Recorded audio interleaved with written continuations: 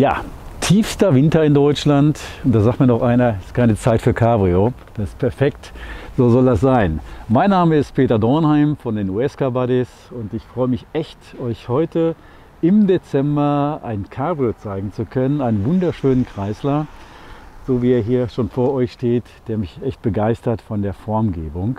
Wir haben hier einen 68er Chrysler Newport Cabrio. Riesengroßes Auto, so schätzungsweise 5,60 Meter, 5,70 Meter lang. 2 Meter breit sind sie alle. Aber hier haben wir wirklich ein unglaublich tolles, massives Auto, zweitürig, ganz gestreckte, kantige Form. 68er ist eh eins der Baujahre, die ich persönlich präferiere, weil sie halt äh, in diesem Baujahr unglaublich viele tolle Modelle hervorgebracht haben, die Amerikaner. Äh, und so auch dieses Chrysler Newport Cabrio in dieser außergewöhnlichen Farbgebung, in diesem hellen Gelb, was dem Auto außergewöhnlich gut steht. Ich weiß, viele stehen auf dunkle Fahrzeuge, schwarz oder ähnliche. Ich auch, keine Frage. Aber diese helle Farbgebung tut dem Auto unglaublich gut in der gesamten Anmutung. Das Auto wirkt im Straßenverkehr, tun sie eh alle die Amis, weil halt niemand sowas im, im deutschen Straßenverkehr üblicherweise sieht und erwartet fallen wir mit diesen Autos halt immer sehr positiv auf. In dieser Farbgebung nochmal umso mehr. Newport heißt das Auto, hatte ich schon erwähnt. Allein solche, solche Details, solche Schriftzüge, ähm, das ist alles nicht mehr super neu und super restauriert, sondern es ist halt ähm, an die 56 Jahre alt, das Auto. Aber allein solche Schriftzüge damals in der Form gemacht zu haben, finde ich einfach unglaublich schön. Anderes Highlight, wo wir gerade hier auf dieser Seite sind, sind diese sogenannten Fender Skirts. Ihr seht hier diese, diese Verblendung des Radhauses. Das kann man mit einem Griff, das ist nur geklemmt, kann man das rausnehmen. Aber das streckt halt diese gesamte Linie und zieht diese Linie halt am Fahrzeug auch durch. Zur Demontage des Rades nimmt man das einfach raus, da kommt man bequem dran. Optisch macht das unglaublich viel her. Ja, zu der äußeren Farbgestaltung habe ich gerade schon was gesagt. Das Ganze zieht sich im Innenraum fort. Wir sehen das hier. Äh, wir haben hier auch eine helle Kunstlederbepolsterung. Die ist noch komplett im Original. Nicht super neu oder restauriert, sondern so, wie sie halt äh, vor 56 Jahren äh, irgendwann mal war und sich im Laufe der Zeit dann halt auch ein bisschen patinamäßig angehaucht hat. Absolut stimmig, richtig schön, sehr gut gepolstert noch. Wir sehen, der Teppich zum Beispiel ist auch noch im einwandfreien Zustand. Wir haben hier keine Risse im Dashboard. Das Armaturenbrett ist der Knaller überhaupt. Guckt euch das mal an. Dieses langgezogene, was sich auf der Beifahrerseite widerspiegelt, ist doch überhaupt der Hammer. Lichtschalter, die so funktionieren. Das zieht sich halt vor. Alle anderen Schalter sind in ähnlicher Art und Weise angeordnet. Das gleiche gilt auch für das elektrische Cabrio-Dach. Das zeige ich euch gleich nochmal, wie das funktioniert. Also das hat für mich enorm viel Style. Das ist halt späte 60er Jahre sensationell gemacht. Auto fährt sich richtig schön, ist riesig groß. Das äh, macht es aber nicht unkomfortabel, weil durch diese eckige Form habe ich eine sehr, sehr gute Übersicht. Ich habe vorne auf den Kotflügeln noch die zusätzlichen Blinkerindikatoren, die mir gleichzeitig aber auch noch mal so ein bisschen Anhalt geben, was die Breite angeht und das Auto wirklich sehr, sehr gut manövrierfähig machen. Das gleiche gilt auch für die hintere Geschichte. Also es lässt sich wirklich gut bewegen. Auto ist 2 Meter breit, 5,70 Meter etwa lang. Das äh, tut dem uns aber keinen Abbruch, macht einen riesen Spaß. Ja, schaut euch den, den Innenraum noch mal ein bisschen näher an. Wir haben hier auch einen enorm guten Zugang nach hinten. Das heißt also für die hinteren Passagiere kann ich den Sitz nach vorne klappen, wie wir es hier gerade hier sehen. Und wir sehen Teppich Zustand. Richtig viel Platz in dem Auto. Äh, ja, jetzt brauche ich noch jemand, der mich fährt. Bei diesem herrlichen Wetter in so einem Cabrio hinten offen sitzen. Besser geht's kaum. Möchte ich aber gerne noch von der Außenseite auch noch zwei Highlights zeigen. Einmal am Heck des Fahrzeugs, weil ich das Styling so sensationell finde.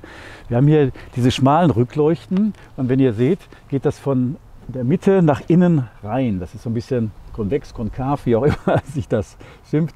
Sieht auf jeden Fall genial aus.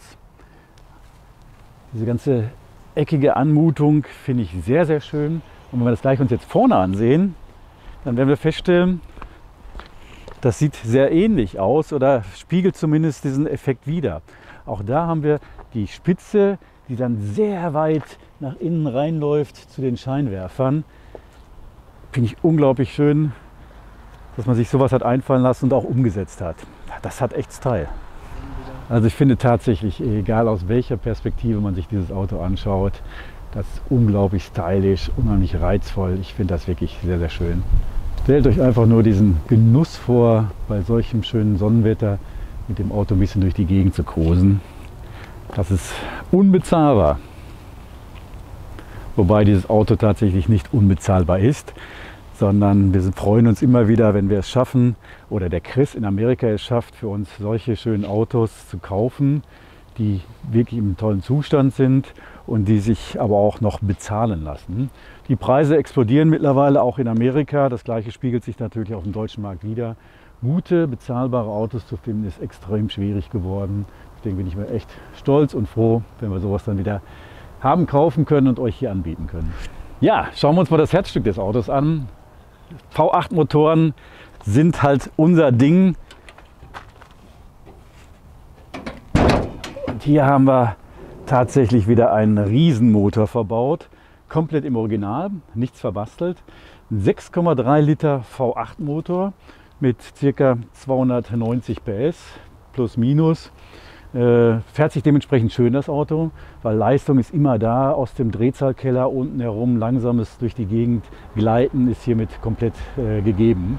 Auto ist, wie ich gerade schon eben sagte, nicht verbastelt, alles im Original. Halte ich immer für ganz, ganz wichtig bei solchen Autos, weil sobald daran gearbeitet worden ist, äh, speziell dann, wenn man an die Elektrik geht, die eigentlich relativ simpel ist, lässt sich sowas aber auch schnell verbasteln und führt dann zu Fehlern, die man halt auch nur ganz schlecht wieder korrigiert bekommt. Hier alles schön, immer gut instand gehalten. Man sieht, hier sind zum Beispiel neue Zündkabel verbaut worden, die Zündspule ist neu, beziehungsweise die Verteilerkappe ist auch neu.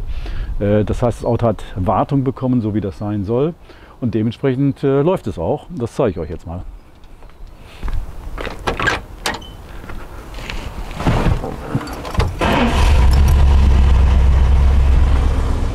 Ja, wie ihr feststellt, ganz kurzer Schlüsseldreh, Auto springt an, läuft auch sofort recht ruhig.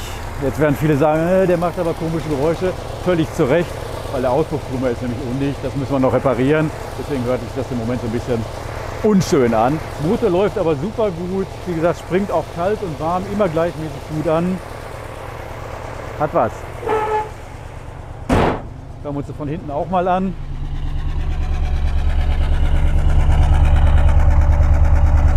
Weiß immer nicht, ob das rüberkommt auf dem Video. Wenn ich hier davor sitze, davor knie und mir das anhöre, bin ich immer total begeistert. Ich mag diesen Ami V8 Blubber Sound, auch wenn er so wie hier relativ dezent ist. Das muss ja nicht immer rollig laut sein. Zu manchen Autos passt das, keine Frage. Aber zu solch einem edlen Cabrio darf es genau so sein, wie es hier ist. Ja, da wir gerade den Motor laufen haben und die Batterie nicht unnötig belasten wollen, zeige ich euch auch mal die Verdeckfunktion. Also wir haben hier wieder solch einen schönen Schalter und das gesamte Verdeck lässt sich auf Knopfdruck öffnen und schließen. Ich habe dann hier vorne noch zwei Halter, die ich dann noch arretieren muss. Und genauso geht das Dach auch wieder auf. Das heißt, innerhalb weniger Sekunden hat man das volle offene Fahrvergnügen.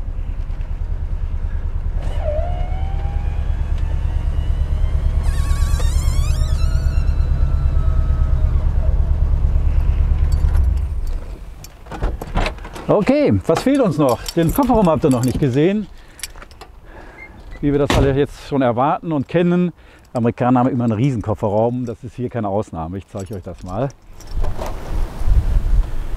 Ja, wie zu erwarten war, wie ich euch versprochen habe, Platz ohne Ende. Ihr seht, hier gibt es noch äh, Fußmatten, Gummifußmatten, die ich äh, bewusst rausgenommen habe, um euch auch den schönen Zustand des Teppichs zeigen zu können.